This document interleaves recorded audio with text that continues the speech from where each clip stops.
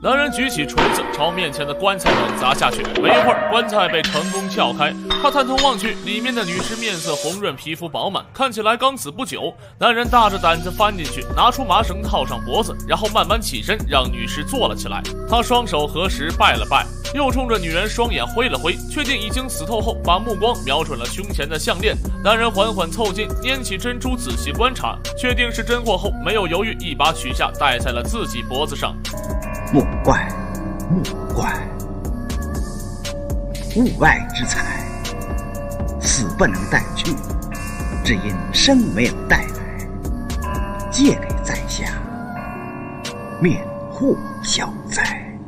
大功告成，男人本该转身走人，但他却觊觎起了女尸的美色。这女尸本名萧云玉，曾是花楼有名的头牌。一周前被城里富商看上，娶回家做了小妾。本以为能麻雀变凤凰，一朝飞上枝头，却没想到这富商老爷在新婚当晚，不知从哪儿搞了些秘药，一战到天亮，萧云玉竟然死了。为表歉意，富商替他修了座墓，又搞到一串慈禧戴过的珍珠项链作为陪葬品一起埋了。那人此番下墓求的正是这串珍珠，可他一想到富商老爷的快活事儿，又看到栩栩如生的女尸，色欲熏心，俯身就要亲下去，没想到萧云玉突然瞪大双眼，吓得男人起身就跑。两人从墓里爬上地面，从四更追到天亮，盗墓小贼竟然被活活累死了。这件事儿很快便传遍了小镇，盗墓并不稀奇，稀奇的是萧云玉的尸体跟那串珍珠项链全都凭空消失了。富商很快派人报案，要捉拿偷项链的小贼。经过调查，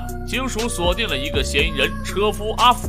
小镇上出了一起盗墓贼案，被盗走的还是花楼头牌的尸体跟慈禧老佛爷戴过的珍珠。警方迅速调查，锁定一个嫌疑人车夫阿福。几天前，车夫像往常一样在街头拉客。三更时分，他收拾收拾准备回家了。这时，一个身着黑裙的女人走了过来，说要去后街。阿福看着女人的长相，当时就愣在原地。这不是萧云玉吗？可萧云玉死后登过报纸啊！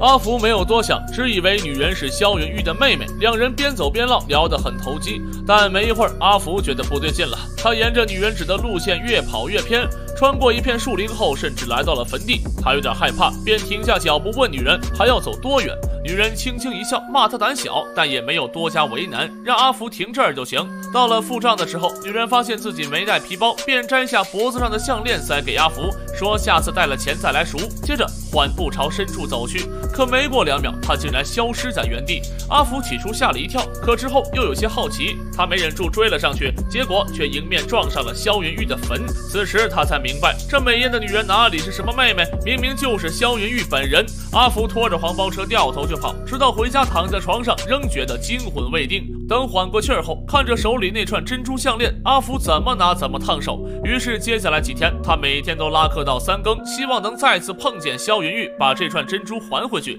结果还真就凑巧让他给遇见了。啊，萧云玉！经过这么多天的心理建设，阿福没那么打怵了。而这次的目的地也不是坟墓，而是河边。到了地方后，阿福拿出项链还给女人，说东西太贵重，他不能要。